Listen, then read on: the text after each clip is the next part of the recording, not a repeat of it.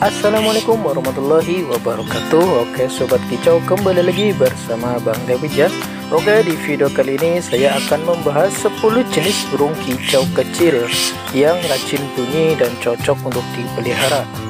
Oke untuk pencinta burung kicau wajib sekali nih Untuk menyimak video ini sampai selesai. Oke seperti apa pembahasannya? Langsung saja kita mulai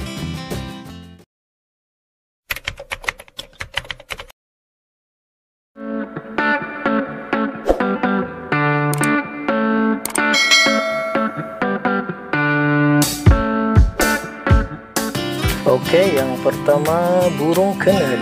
Secara fisik burung kenari memiliki ukuran tubuh 10 sampai 12 cm dari ujung paruh hingga ekor dengan bobot hanya sekitar 15 gram saja. Kemudian yang kedua burung pleci. Burung pleci juga biasa disebut sebagai burung kacamata dikarenakan corak putih melingkar di sekitar mata yang mirip seperti sedang memakai kacamata. Walaupun memiliki ukuran badan kecil berkisar 15 cm, burung pleci dikenal kacor dan memiliki suara dengan karakteristik yang lantang. Kemudian yang ketiga, burung parkit. Burung parkit memiliki panjang tubuh sekitar 18 cm dan bobot 30-40 gram. Burung memakan biji-bijian ini hidup di kawasan kering Australia sebelum akhirnya masuk ke Indonesia. Burung parkit termasuk ke dalam jenis burung paling pintar di dunia.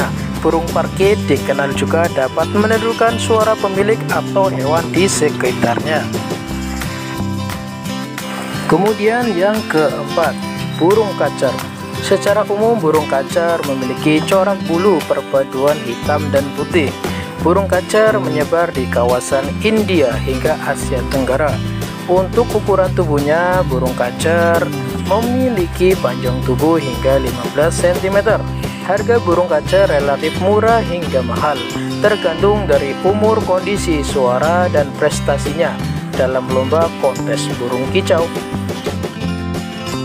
Kemudian yang kelima, burung lovebird.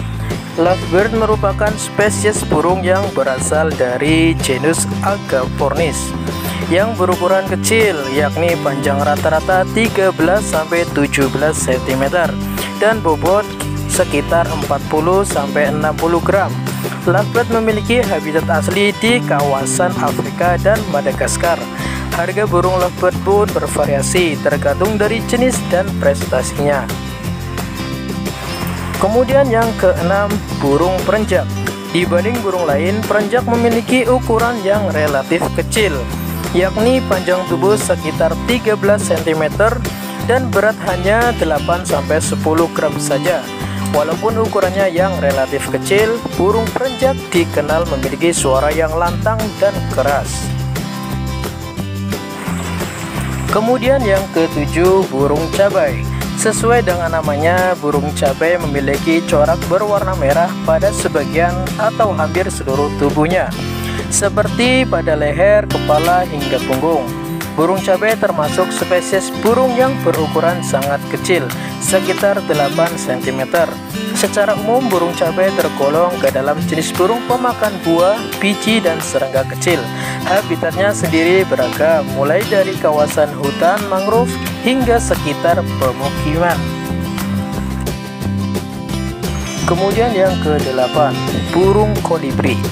Karakteristik dari burung ini adalah paruhnya yang tajam dan tipis yang berfungsi untuk mengonsumsi nektar atau madu. Rata-rata burung kolibri memiliki panjang tubuh sekitar 9-10 cm dengan bobot mulai dari 5-7,5 gram. Kemudian yang ke-9, burung teledeka.